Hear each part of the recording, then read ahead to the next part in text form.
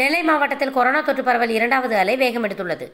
நெல்லை தச்சை மாநகராட்சி மண்டலத்தில் நெல்லை மாநகராட்சி ஆணையாளர் கண்ணன் உத்தரவுப்படியும் சுகாதார அதிகாரி டாக்டர் சரோஜா ஆலோசனையின் பேரிலும் தச்சை மண்டல உதவி ஆணையர் ஐயப்பன் அறிவுறுத்தலின்படியும் தச்சை மருத்துவ அலுவலர் டாக்டர் ரஞ்சித் தலைமையில் வார்டு எண் எட்டில் திருநெல்வேலி மாநகராட்சி கொக்கிரகுளம் பகுதி நேர மருந்தகத்தில் நகர்ப்புற ஆரம்ப சுகாதார செவிலியர் சி மல்லிகா மற்றும் செவிலியர்கள் எஸ் தனலட்சுமி ஆர் சோனியா காந்தி முன்கள பணியாளர்கள் P Rajeswari N Pechiammal S M Selvi A G Sudha சுகாதாரத்துறையினர் முகாமிட்டு அனைவருக்கும் வெப்ப பரிசோதனை சளி காய்ச்சல் இருமல் உள்ளதா என கேட்டறிந்து மருத்துவ பரிசோதனையை மேற்கொண்டனர். பொதுமக்களுக்கு கபசுர குடிநீர் மற்றும் சத்து மாத்திரைகளும் வழங்கப்பட்டது. அறிகுறி உள்ளவர்கள் கண்டறியப்பட்டு கொரோனா பரிசோதனை செய்து கொள்ளுமாறு அனுப்பி வைக்கப்பட்டனர். வீடுகளை சுத்தமாக வைத்திருக்க வேண்டும். சமூக இடைவெளியை கடைபிடிப்பதுடன் கட்டாயம் முகக்கவசம் அணிய வேண்டும். தேவையின்றி வெளியே செல்வதை தவிர்க்க வேண்டும் என விழிப்புணர்வை ஏற்படுத்தினர். இப்பணியினை சுகாதார ஆய்வாளர் இளங்கோ மேஸ்திரிகள் சங்கர் முனியசாமி தூய்மை இந்திய திட்ட பணியாளர்கள் கருப்பசாமி கணேஷ் முத்துக்குமார் மற்றும் உதவியாளர்கள் விஜய்சங்கர் அருண் இசக்கிமுத்து மற்றும் பல மேற்படி பணியாளர்கள் மேற்கொண்டனர்.